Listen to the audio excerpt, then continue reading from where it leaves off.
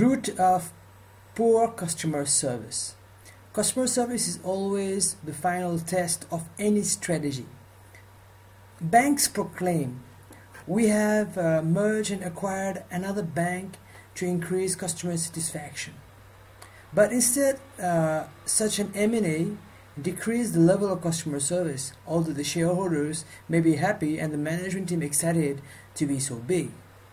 Yes, by increasing in size, banks become more secure in terms of deposits, but it is a little consolation to customers and the frontline staffs.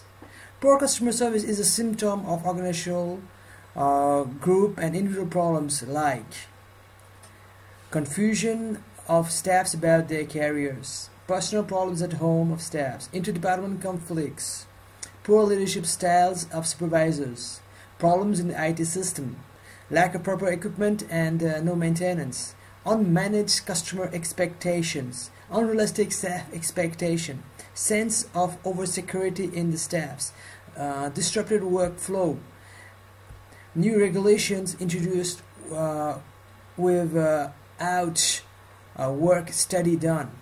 So you see, just ordering frontline staffs to smile won't suffice.